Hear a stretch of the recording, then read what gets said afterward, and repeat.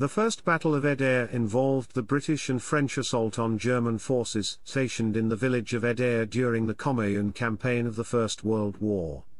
Allied forces from Duala launched their advance on the 20th of October. Following stiff resistance along the southern railway line between Duala and Edea, German forces withdrew from the town to Jaunde, allowing Allied troops to finally occupy Edea on the 26th of October 1914. Chapter 1 Background After British and French forces had landed in and occupied the major port city of Duala in September 1914, the German garrison that had once protected it retreated inland. One group withdrew along the northern rail line to Dschang, while another travelled up the Wouri River to Jabassi. The largest group which included Kamerun's governor, Karl Ebermeyer and commandant, Major Zimmermann, had moved southeast along the southern railway line to the village of Edea. During their retreat, German forces damaged or destroyed much of the railway.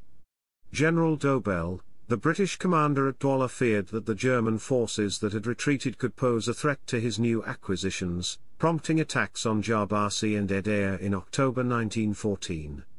After the German defeat at the Battle of Jabassi in early October, river vessels and manpower became available for an assault on Edea which lay on the Sanaga River to the southeast of Jaunde.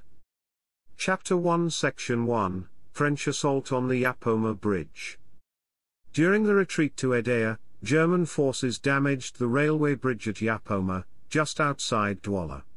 A small German detachment remained entrenched on the far side of the Dibamba River at the damaged bridge while the majority of the force had retreated to Edea. The German control of the bridge was seen as a great danger to the Allied occupation of Duala due to Yapoma's close proximity to the town. On the 6th of October, a French force of 400 tirailleurs under Colonel Meyer assisted by British naval bombardment made an assault on this position.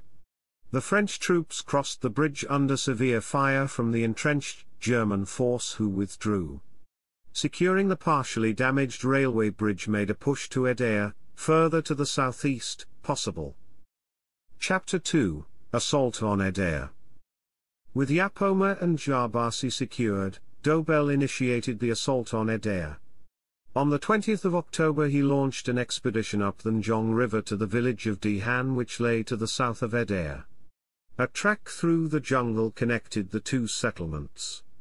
The British force that had sailed up the Nyong arrived in Dihan on the 21st of October and began to march north to Edea. A second British column under Commander L. W. Braithwaite would move up the Sanaga River. Colonel Meyer's French force would advance eastward along the railway line from Yapoma. One French and two British officers were killed among others when their boat capsized on the Nyong River early in the operations. The Sanaga River flotilla had great difficulty navigating because of the many natural obstacles such as sandbars that lay below the surface. The columns moving north from Dihan, and up the Sanaga did not experience significant resistance from German forces but did face disease. Zimmermann chose to focus the defense of Edea on the southern railway line. The French column under Meyer that had moved east along the railway line from Yapoma encountered heavy resistance throughout their advance and suffered severe casualties as a result. Realizing that the Yapoma column continued to advance despite their resistance and that other columns were closing in from Dihana and the Sanaga, German forces including the governor and commandant withdrew to Jaunde, approximately 100 miles to the east. On the 26th of October British and French forces entered and occupied Edea, finding the Germans fled. Chapter 3 Aftermath After the capture of Edea, Allied troops moved, 20 miles further inland to Kopongo. A German attempt to recapture Edea would fail at the Second Battle of Edea in early January 1915. Following the success at Jabassi and now Edea, the only remaining German unit that had withdrawn from Duala in September was the one which moved north towards the fort at Dschang. In December 1914 a British force under Colonel Edmund H. Gorges would begin its march toward Dschang. On the 2nd of January 1915 Gorges' force reached Dschang and began a bombardment of the German fort there, which forced the garrison's surrender.